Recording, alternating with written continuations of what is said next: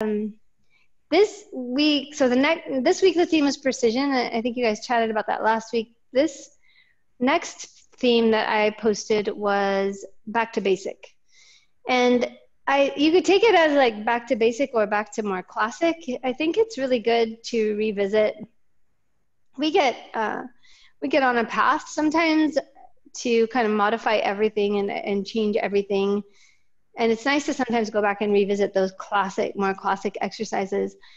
And with i felt like back to basic followed precision really well because now with the precision that they can have a little more precise movement now it's time to go revisit those exercises with that more precision right to get more out of it. Now they understand how to get more out of it.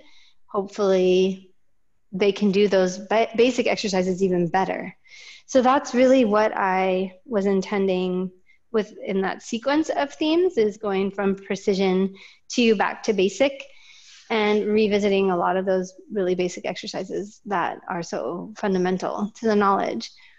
So, um, do you want me to? Do you guys have any questions about that? Comments on that? Things that you've used or not used, or?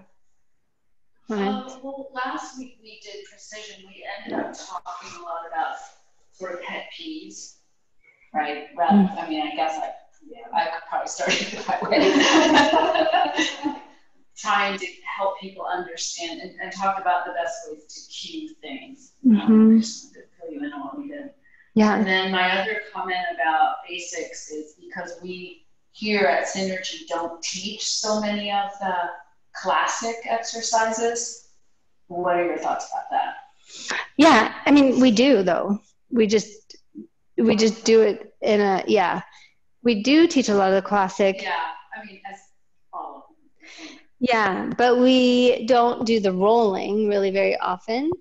But there there is that appropriate population for that. So i think it is good to it's good to go back and rethink why are we doing that. So let's take something you know for us here we don't use that. And i think that all of you guys are part of that group too we don't use a lot of the rolling because of the amount of load that ends up on the spine with the rolling uh, up and down and that that there isn't that much of a need for it. But can you guys think of when that rolling up and down is is a good thing to do? Or a population of people where that is worth doing? So what what do you mean by rolling up and down? Not uh, like Mm-hmm. Like roll, like roll downs, roll ups, uh, overhead stuff. So hip ups, full hip ups, and roll over, and short spine and long spine, and all those things. They all are actually going for the same thing. But in your head, what is that thing that they're going for? Like, what would be the purpose of those exercises? Spinal strength dancers and athletes, I, I would say. Stretching the adductors, mm-hmm. stretching, yeah.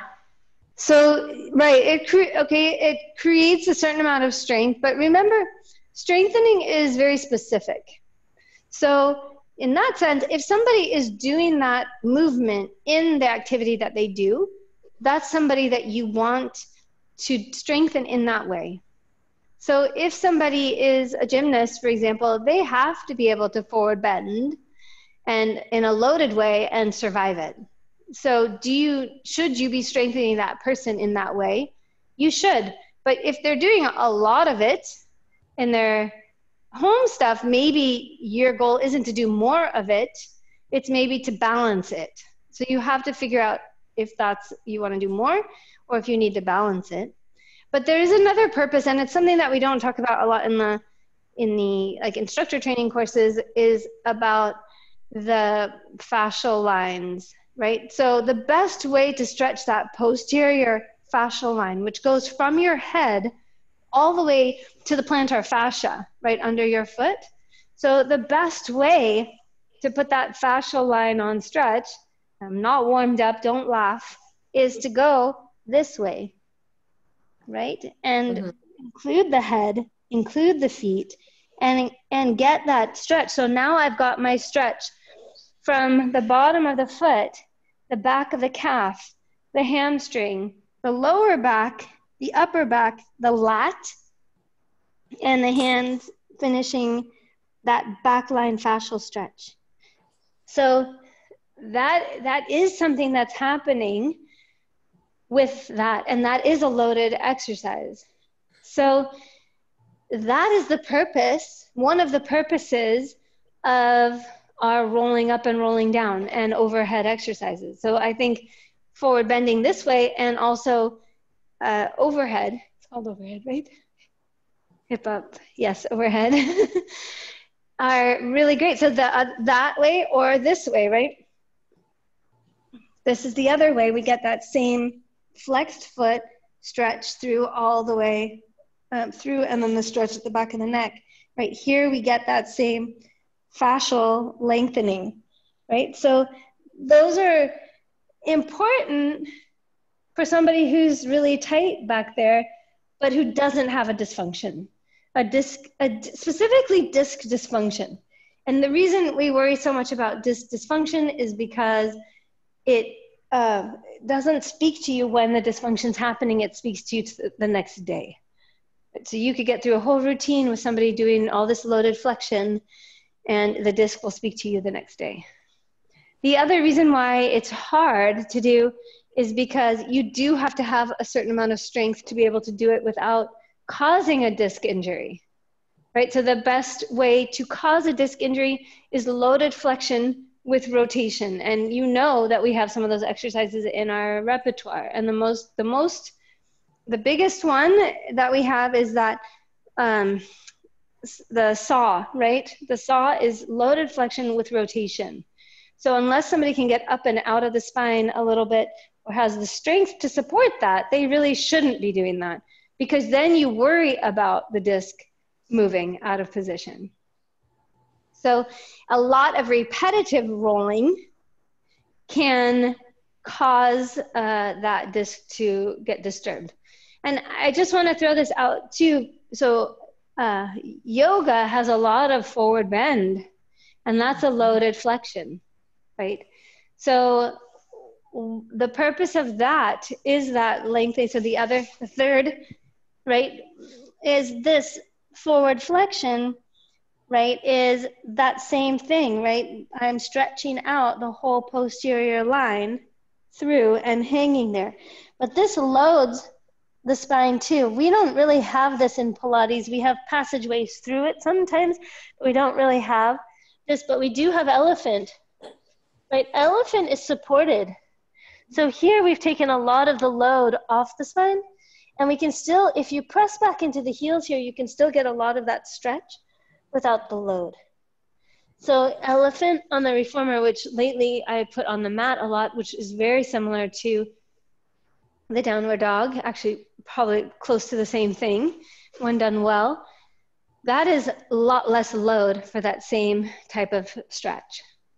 So if you were going to incorporate, so if we talk about back to basic, yes, the roll down is one of the most classic, classic exercises, but I think it's a really complicated exercise because we have to, right, find your C lift, find your C curve, find that articulation through, right? I'm not just crunching my spine and rolling mm-hmm. down. I'm lengthening my spine to roll it down and keep pulling longer and longer to get that lengthened position. And I have to do the same coming up. Otherwise, I'm actually sadly mistaken, right? So coming up, lengthening neck, pulling back, lengthening, pulling back, lengthening, pulling back, lengthening, and then stacking back up. So keeping that space and length in it. So it's actually not a basic exercise to be rolling at all. Teasers, I mean, right, and this is the easy version. Teasers and bent knee teasers and straight leg teasers are even more complicated.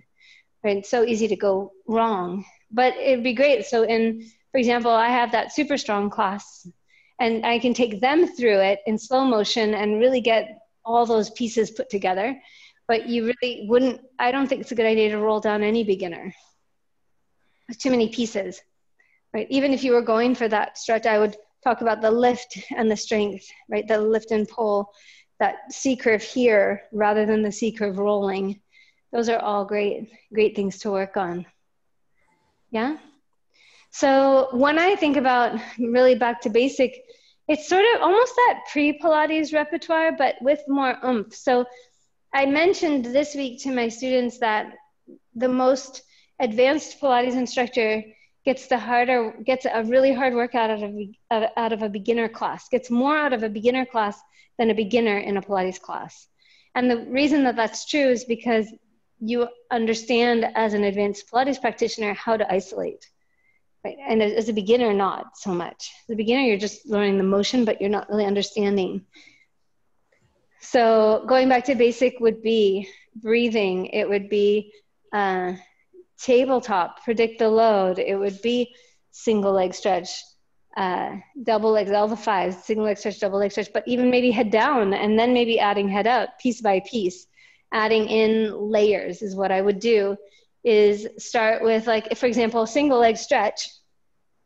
I would start single leg stretch here, leg high, so that there's not too much work and there's a lot of control. Right, so that would be layer one. Layer two would be piecing together this upper ab part just here without the legs, right? I could layer in an upper ab. Then I would layer it in, third layer would be supported leg out, right? So this is all building up to, I haven't even gotten to my single leg stretch, which would come next, starting up, reaching, holding, and then holding that, and then putting in that. So creeping up, layering on step by step by step, I think is a great way to then connect so people feel what they're supposed to do at each phase of the way. So I, that's how I was thinking of approaching this back to basic is we've got, I mean, I could spend 45 minutes on those fives and they'd work super hard, but I'd never have to go away from the fives to get it, right? So those are kind of classic basic. And then once they're really strong in the fives, that's when you can consider, are they safe enough to do a roll down? Are they safe enough to do um, any of those loaded exercises if it's appropriate for them, which are classic, but for me, not really basic. Yeah. What do you guys think? Yeah? yeah. No, I agree. I always thought you had a, a knack for making the simplest thing. Thank you. I appreciate that so much. yes, I have a knack for making simple things really hard. So we've been through, you know, in the past few weeks, we did Pilates poses. So we did a kind of more holding week. This week we did the precision week. We go back to basic, that those basic exercises better look really good by now. so that that was an intentional, not just a random. That was very intentional, progression-wise. Um, what else? What else can you guys think of as terms of other exercises that would be worth revisiting in a more basic way?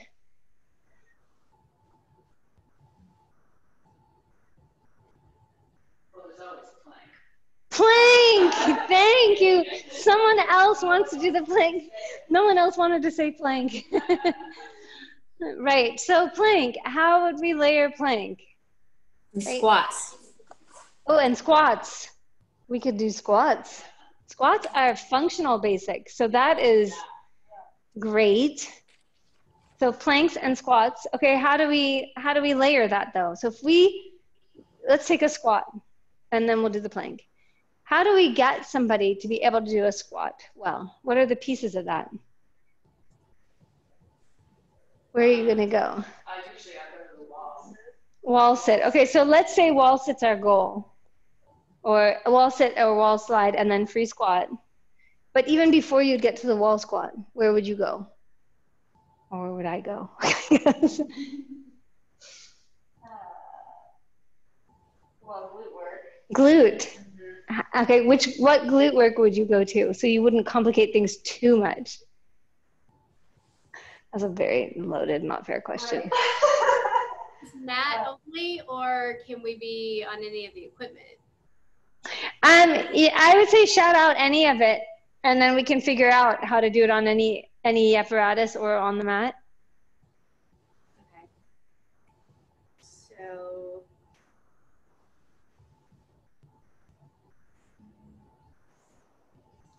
So if anytime I want to isolate glutes, um, or you know make sure that the glutes are working, um, I start with bridge. Thank you. Yes, that's exactly what I was thinking. Yeah. So bridging anywhere you want, right? Any kind of bridge helps turn on the glutes. And it's uh, when people go wrong with the squat, I think it's because the, the glutes don't actually fire very well. They end up translating forward and getting their back. And so I think I would, I think I would build up bridge to build up squat. Mm. Yeah. You could also do any of the prone glute things, right? Those are an option. They're, I don't think they're as related. So in a squat, you've got knee flexion, hip flexion. In the bridge, at least you have that knee flexion and you're using those glutes, and then you're just adding the hip flexion. It's not like flipping the body over and doing a huge different thing. What about um, for rotated Yeah. Yeah, so you could work on, right, external, that's right. So if we were gonna do squats parallel, right, we could work up, okay, we have our bridge, we've got these on fired here. Um, what if we want, and then we can take that to our wall sit, and then we can take that to, uh, and, and the other, sorry, I'm gonna come back to your, the other piece of that wall sit is the trunk, so what could you do for the trunk? And then we'll come back and turn it out. Yeah, so chest expansion, right? Opening the shoulders, opening the back, being able to hold that trunk upright. So if you were here, I've been doing a lot with just the TheraBand in front of the thighs, pulling back, pressing forward, getting that open, right? And that would help them line up so that when we go to our wall, whether you want to be moving them or sitting them, with slippery socks, you can get that back, back, back, and the butt back, and they're in this nice line d- dug in in their heels, and you've got this beautiful positioning. Yeah. So then I can really ask for butt pressure back to get the back working rather than all quad working. Yeah. So that that sort of that build up. Now Genevieve's to Genevieve's point, she's saying, well, what if we want to get to a turned out squat? How do we progress there? And she suggested maybe clamshell, right? So that would be a good, what, what are we engaging in the turned out squat that we're not engaging as much in the parallel squat? The mead? Actually, the mead works more in parallel. Oh yeah, right, right, right, right, right. It would be the. Minimus. It would be the yeah rotators, right? So piriformis and your hip rotators are going to start working if we start to turn out. So just, clam, go ahead. Sorry. Just a quick question. Hi, everybody. Um, Hi. And so I was watching one of Minjae's um, videos, you know, that's in the staff room, and it was like one of those Gaiam videos. But they were doing a um, bridge with the like legs or knees open, feet together. Like that's we don't we don't ever do that. Like i mean could because i feel like it might go into someone's back if we did that. What do you think about that to activate the glutes? Is, is genevieve doing what you were describing? Yes. Um yeah but in bridge. Yes i can't see she's cut off on the bottom if she's doing bridge but oh yes so she, yeah. Um so are they going here are they going diamond or are they going just turned out um, it's like diamonds. yeah. Yeah. Yeah. It's hard. Yeah, it's hard to see how far apart your legs are, but my legs are really apart. Okay. Yeah. No. No. Not that much apart. Um, oh. Okay. But yeah, like, feet like together. Yeah. Hmm. Not so much. My favorite. yeah. Like I, yeah i don't know uh, because i was like oh that's that's like clamshell almost but it's like we're on our back. So anyway just just putting that out there. Yeah i actually like this better. I like it yeah. And i because here i am pressing the bottoms of my feet together. Maybe i can turn so you guys can see. There you go. Yeah i'm sorry i'm on a phone i can't. I'm pressing the bottoms of my feet together and my oh, knees oh, and are the, and i'm very okay, diamond Okay, and the sides of your feet are going into good. the floor. Say that again. the sides of your feet are going into the floor. The sides of my feet, but Yeah. the bottoms of my feet are together. Yeah. And I can- okay. Okay. So Yeah, that's that what Genevieve actually was doing. feels pretty good. Okay. The you might actually like that. It's nice on the on the SI joint. I guess as long as someone doesn't get like too into it where they might arch their back or something. Yeah, I'm not that inclined to. Ar- well, I guess I could arch my back there Like to get higher. I don't know. I would do that. if I don't pull the tail away. Yeah. Yeah. I'm getting a lot of outer glute and and inner power. More glute. Uh huh. Is it okay Okay. for you? Yeah, It feels very strange, but it feels strange, it but feels like I can't quite like. yeah, it's hard to doing this. I feel like. yeah to balance, but Yeah. that's kind of fun. Yeah, I'm trying to keep my legs from going woo. Well, I mean, partly my reason too was asking you guys that because I was like, huh, like I, I want to try that, but like I want to see what they think about that before I like test. You guys are my test group first. So. We're, we're being your else. test group. Yeah. yeah, this I like better than trying to do this. This I feel restri- I, and so this comes from our reformer, but in the bottom Mhm. lip, I like okay. This works if I really dig heels hollow, and imagine that I'm about to do this on the reformer. It works better for me than if I just think about bridging here for the mat. So that pull in with the hamstrings or either, yeah, squeezing those heels, cueing into the heel squeeze, that works. Um, I I don't tend to do that. I yeah, I don't tend to do it. I think it's um, fine. I don't think there's anything really wrong with it, especially since we do it on the reformer. But I, it's not very functional. Okay. Thank you. on the reformer, except for strengthening the rotators. So, and then the clam would be that same goal, right? Um, clam would be the one opening to get those rotators. The nice thing about what you were suggesting, Allegra, is that both sides are working at the same time, which is more like the squat. So that is that is a something to think about, yeah. And then, but then working into the open squat, right? You could do that on the wall right? Turned out uh, sit on the wall, and you could decide how wide. I tend to keep people pretty narrow, um, and then pulling in inner thigh activation, wrapping the heels, right? So you could do sit, or again, you can start working towards rolling with something behind, kind of going down and up into your squats here, but keeping that posture really nice. That's a great way to work up upward into that and connect the body. So all of it to connect or parallel, same thing, all of it to connect posturally back, right? That's what we're going for later. And then I was thinking of reformer, um, side sleeper, and, and even scooter and scooter as well.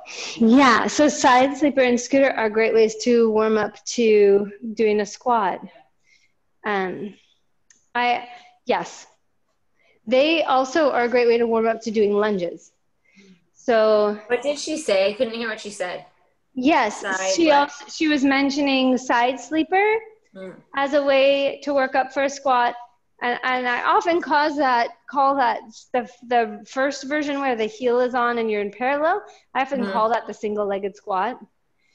Um, and you could also do that in turnout for the turned out squat. The difference being it's a one-legged and versus a two-legged. And then Mhm. Kim was also ju- suggesting scooter, which is a great way to warm up for a squat potentially. It's also a really great progression into a lunge. So, what do we need a lunge for in functional life? Thank you. We need a lunge in, in functional life to get up off the floor. Yeah. So, try getting up off the floor without a lunge. It's really messy. Yeah, and the only way to get there that I can think of without that lunge, right, is to go this way. And then we have a problem if there's a back issue, unless they're strong enough to find and flexible enough to find neutral and find their way up from there. Right? So we need a functional lunge to get up. And, and actually, if you want a little, a little fun for you, um, and just a little side note is, uh, and I think you guys have already heard this, but I'll throw it out there. There's studies on longevity, and the mm-hmm. studies on longevity show that a person who can get up off the floor without using their hands has a much greater predictor for longevity than somebody who cannot. And I don't remember the exact details, I have to read it again. But so it's a great test for people to be able to, well, and also people who can squat to the floor and back have greater longevity than people who cannot. Wow, right? That's a big deal. Can you imagine? So getting them into squats and getting them up and off the floor are really key things. So if you want, just, it's not that easy to get up and down off the floor without your hands. So maybe try it and see. I mean, going down and going all the way down to laying on your back without your hands at all. And then coming back up without your hands at all. Right? It's not the simple, without your hands. Oh, you can however you want, but just without your hands. Yeah, it's not that easy. So now, now take your 80 year old right? How are you going to work with them to get on and off the floor? It's through that lunge. So, so if we want back to basic, uh, we're thinking functionally getting off the floor, we're talking about definitely having a lunge in that routine somewhere. So that's scooter, really, very specifically, scooter is a great one. I've been working with, since we don't have reformer in our virtual classes, I've been working with um, fake scooter, bending straight, right? Bending straight, and then just holding straight and pulling, and release and pulling, right? And then holding straight leg and bending back leg. Right? These are all great ways to strengthen for your lunge, um, and you need that functional lunge, right? So those would be taking things back to basic, taking apart the motion that you want to achieve. Yeah. Yeah, so you have that front leg. You can go into a lunge. You can push back. That would be like our Russian split. And then bend again, right? Push back. I'm going up because I can't go back on a solid floor, right? So that would be like my Russian split. Um, and then I could flip that, hold that front leg straight, and bend the back knee and push that straight, and bend the back knee and push that straight. These are all pieces that we need if you wanted, you could even have a bent leg and bend the back knee and push it straight. And then you can progress that to going down and pushing straight, going down and pushing straight. And then once you have that down, right, that's it. I just can push up from there. That's my lunge. That's how I'm going to get up off the floor. Yeah. Well, then we talk about, like Kim mentioned, say the week, but toes, people who have trouble with bending their toes. Yes. Okay. Did we talk about going on the top of the foot? Yeah. You can. That takes a lot more strength. Yeah. So you could also have them turn out the back foot. So you could have them go instead of that. You could go back a foot, turn out the foot, and come up if they need to or turned out and going down. It's a, not as nice on the knee for sure, but pressing up and then turning out to finish it is something they could do.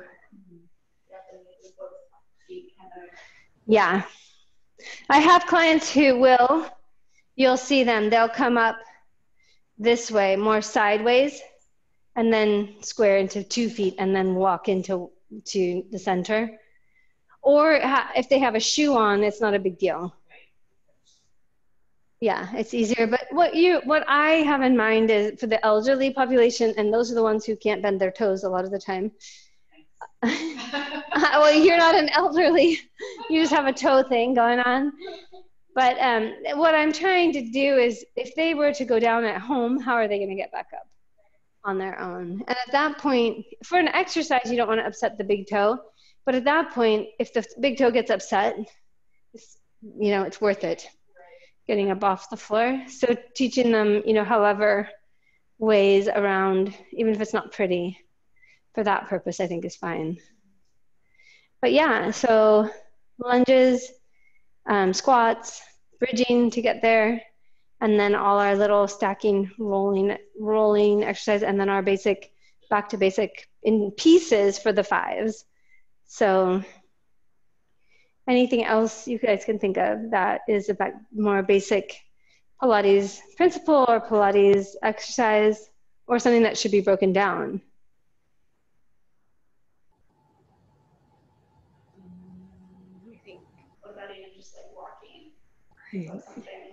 Yeah. Okay, walking. That's what Genevieve was saying. So, ooh, that's a loaded question, a loaded comment. So, what are the components of walking that we see in Pilates, right? We do this naturally. We break down the footwork on the reformer. So, that's a big thing, right? Getting them, if you can, get them on the footwork for reformer is fantastic. For feet, ankle, knee, the whole stability up the chain. So, I think if you have that access or they have that access, I think that's definitely a great tool uh, or the chair even.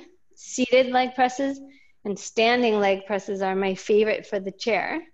I've started adding in, um, so the components, right, I'll go back, backtrack for a second, are feet, ankles, knees, hips, and then stability, right? So any of those things are key to the success of a walking position.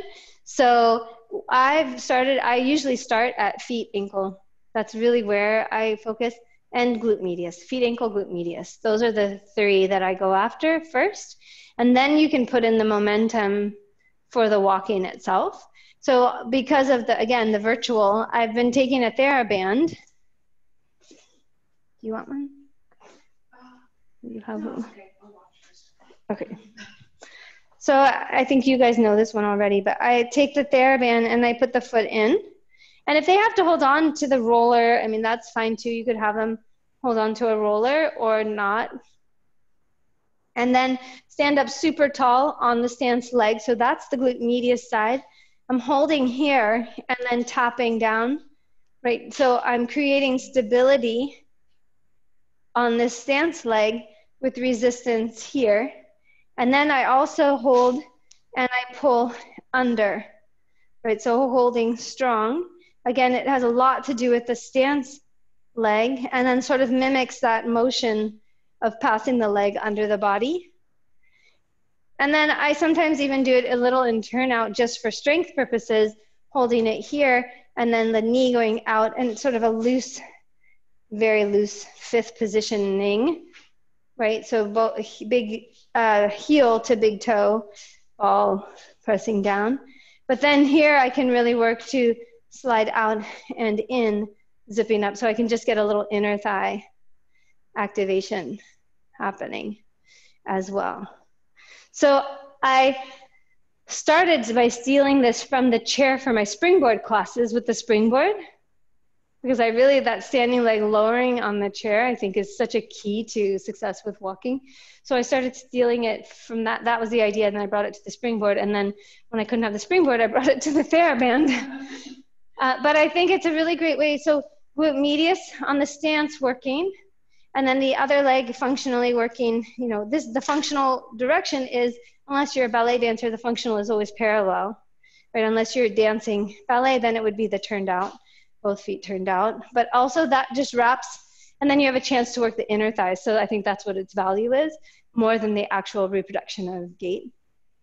So that, that would be a great way to start with um, all those pieces.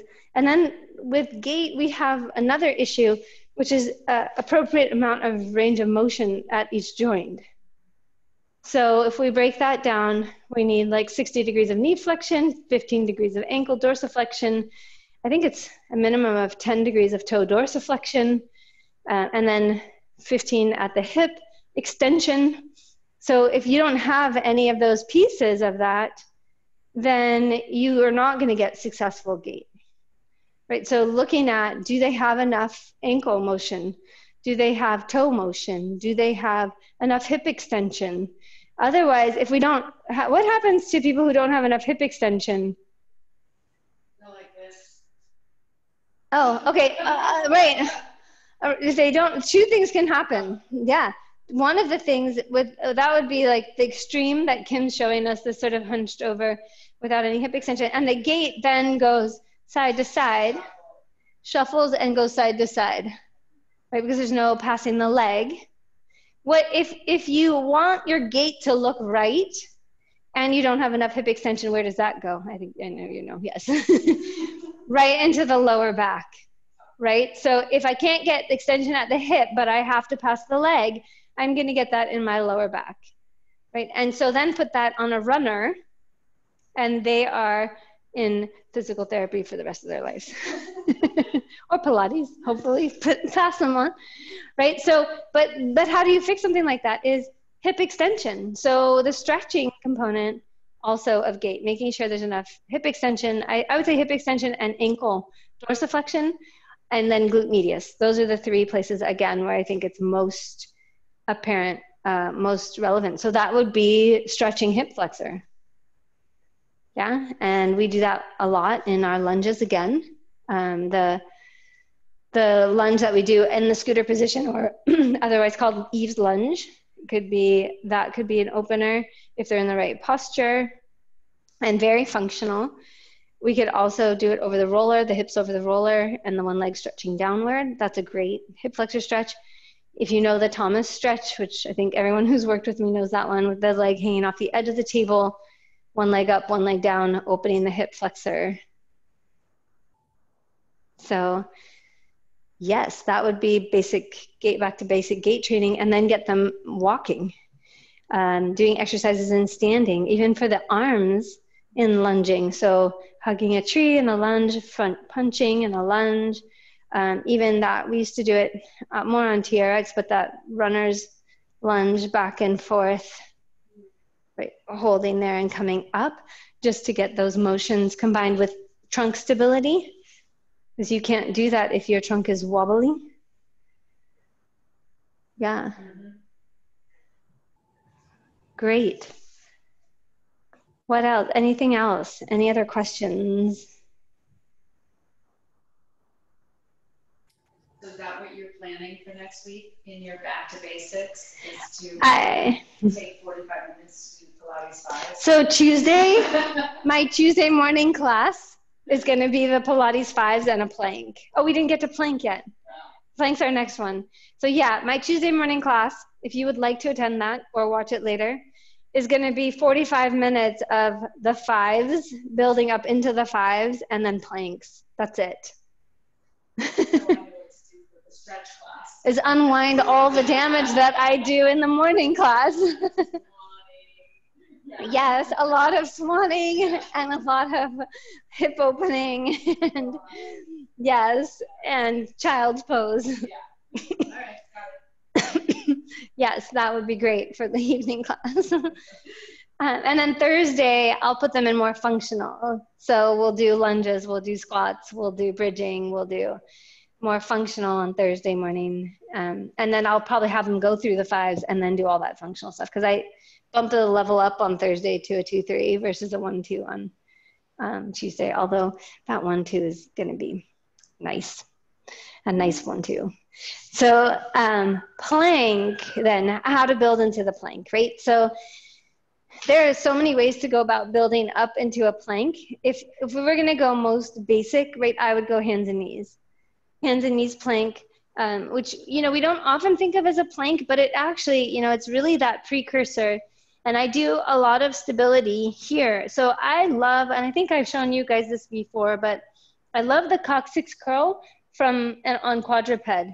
So emphasizing that I'm pulling up the belly and creating a coccyx curl and that my upper body my hands are light my upper body is light it's the lower body doing the work and then coming back to the neutral Yeah.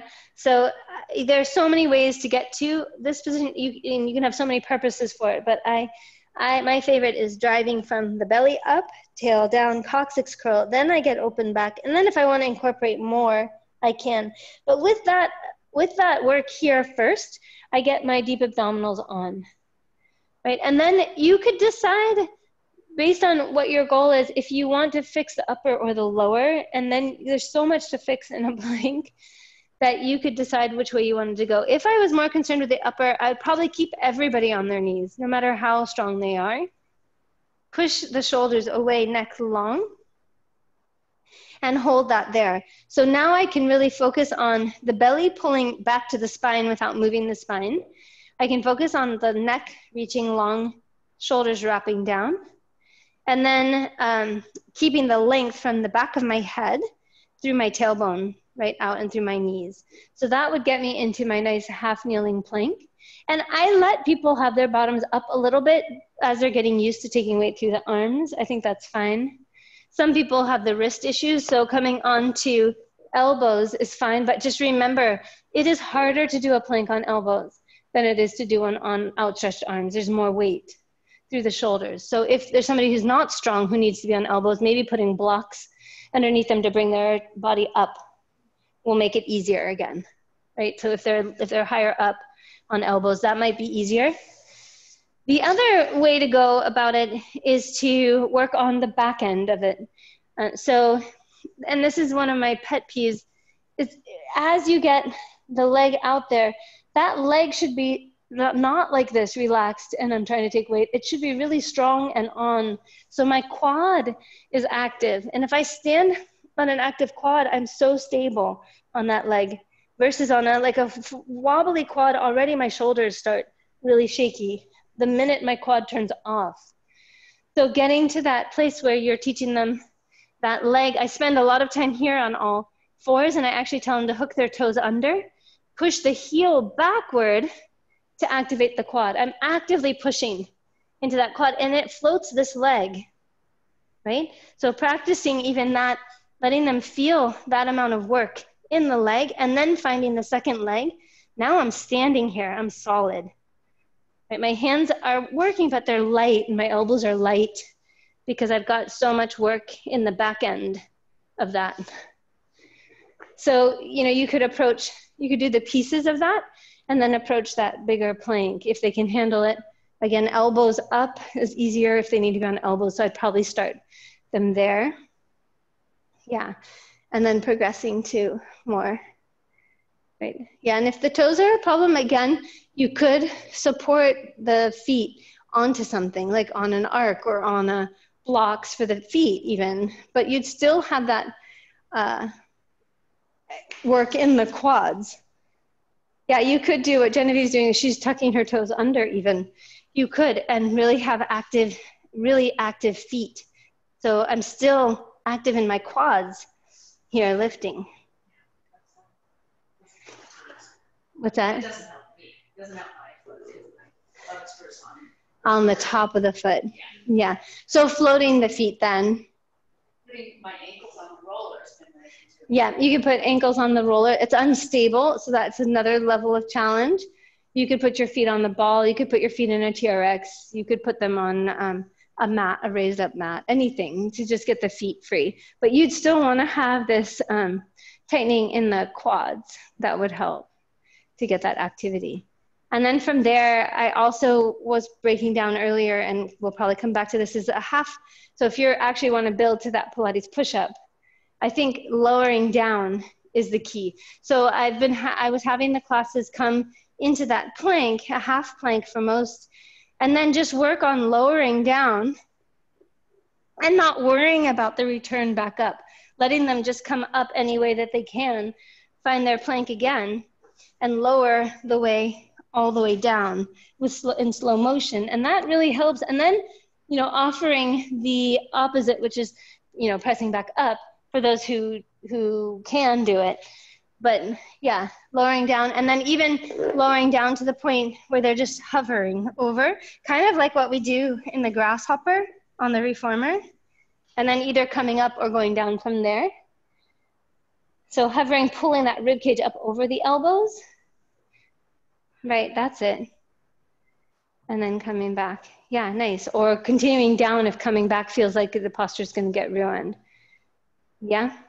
So those are really nice ways to start giving people, um, good, that's it, Kim, giving people confidence to start working on push-ups. I think sometimes it's overwhelming because they don't have, and I've always said, doesn't matter how low you go, it's really more about the form of it.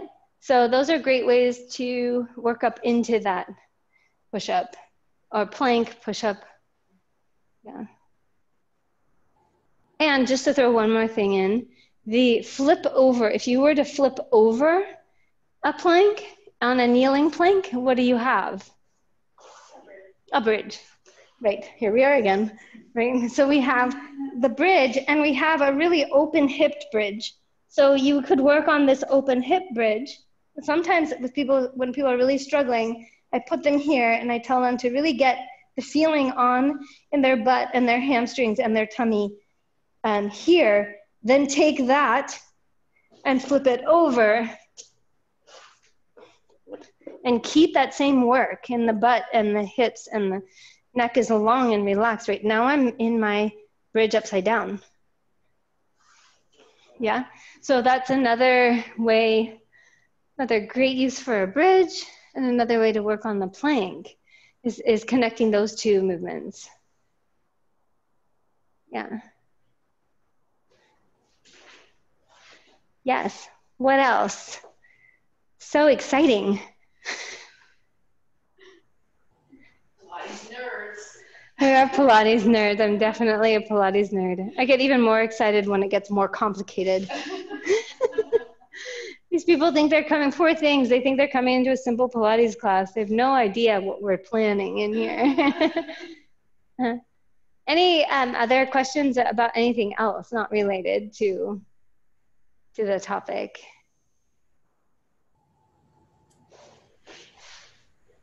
No, all good? All right. Okay, well, then, uh, if you guys have questions in the meantime, let, let us know. You can always send an email um, and we will get it. And then um, next week, let's see, what are we on next week? Oh, next week is going to be um, focus your work. I'm just driving the same theme home, aren't I? Then we get to increase mobility. So that'll be interesting. But yeah, focus your work will be the next time. So we will talk about I'm not gonna I'm not gonna give away. we'll talk about that that then. But any other things, if you guys have questions or client questions and things like that, you can always send them our way. I'm most happy to talk about them as well for part of our time. So whatever you need. Yeah, awesome. Thank you guys. Nice to see you all. we'll see you next week. Yay. Yeah, thanks you guys. Bye. Bye. Bye, Bye, Allison. Bye. Bye. I think Allegra is driving. Huh, she didn't look like she was moving. She just looked like she was in the car. That's commitment, and that's even worse than texting. Yeah. What you can be listening. I'm in a Zoom meeting, doing Pilates while driving. Yeah. Why? Every time I move this lamp, there's um. Sand, yeah, I noticed that. Yeah, something coming out of the wall. Think? I wonder if Tiziana put it outside at some point. Oh. I think it might just be the, uh, what's like weighting the base down. Oh, and it's leaking out. Yeah, Oh. because it's a heavy lamp.